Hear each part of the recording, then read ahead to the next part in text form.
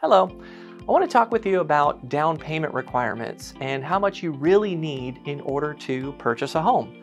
So there's different levels of minimum down payments required and it changes based on how you're going to use the property. Meaning, if you're going to buy a home with the intention to live in it, the down payment requirements are a lot lower. A lot of people think that you need a minimum of 20% down or more, which is simply not the case. If you're buying a home to live in it, you can put as little as zero down if you're a first time home buyer or you can qualify as first time homebuyer status with down payment assistance.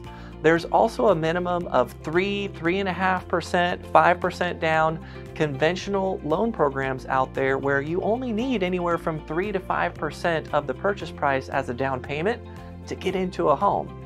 And for those of you wanting to invest in real estate, um, there's a few different ways you can do that. You can buy the home initially, live in it for at least 12 months with that minimum down payment requirement, now you own the home, now you live in it for 12 months. After 12 months, you can rent that property out and go do it again so that you can use very little money to start building your real estate portfolio.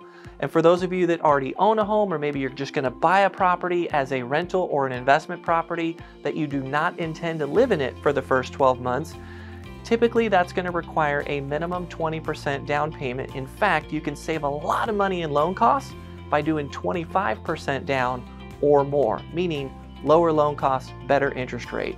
So there's different levels required for different situations, and since there's so many of them, I would encourage you to schedule some time where we can take a look at your situation so we can see what would be the minimum down payment required for what you intend to do or what you intend to purchase so that you can make a well-informed decision and go from there. So give me a call, let's schedule some time to talk about your situation, and we'll see you on the next one.